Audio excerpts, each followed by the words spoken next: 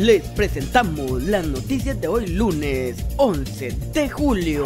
Padre e hijo capturados por portar dos armas de fuego sin licencia de portación. En un operativo de despistolización en la aldea Buenavista San Pedro Pinula, Jalapa, agentes de la comisaría 22 detuvieron a padre e hijo identificados como Julio César Castañeda y Castañeda de 57 años y Julio César Castañeda de Paz de 22 años, a quienes se les incautaron dos pistolas calibre 9 milímetros, 6 cargadores y 62 municiones, ambas sin la licencia de portación.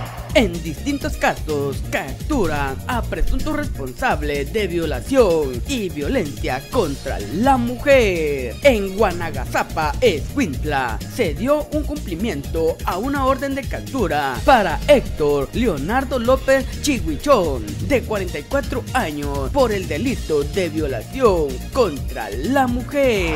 Presunto responsable de ataque armado, capturado en Quiché. Fidel Santos Tinoco, de 37 años, presunto responsable de haber disparado contra una persona, fue capturado en la aldea Palipax, Joyabac, Quiché, tras una persecución que inició en el parque de Pachalún, donde se celebraba una noche vaquera mata a una niña de 14 años y luego se quita la vida en San Cristóbal, Verapaz. Conternación ha causado en el municipio de San Cristóbal, Verapaz, Alta Verapaz, el hecho que un individuo posiblemente bajo efectos de licor disparara en contra de una niña de 14 años. El hecho ocurrió en el cantón Las Arrugas de aquella localidad. Según se indica, lastimosamente la niña falleció dentro de la ambulancia cuando era trasladada a la emergencia del hospital regional de la ciudad de Cobá. PNC remite a 49 inmigrantes a migración en Chiquimula. 34 inmigrantes de Venezuela y uno de Colombia fueron interceptados por policías de Dipafrón en el kilómetro 228, ruta interamericana, Altea, Atulapa, Esquipula, Chiquimula, cumpliendo los protocolos migratorios correspondientes.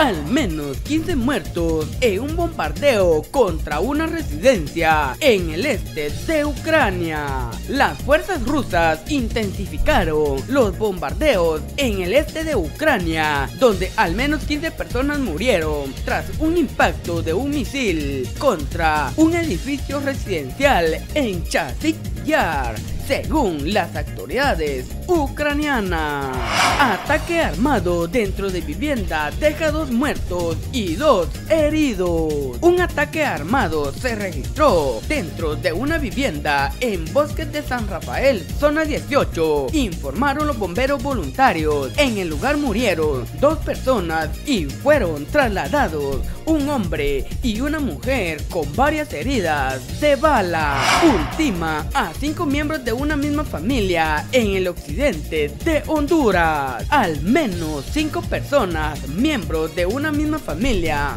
fueron asesinadas en una aldea del departamento de Santa Bárbara, en el occidente de Honduras, informaron medios locales de prensa. Para más información, visita nuestra página isabalense.tv.com.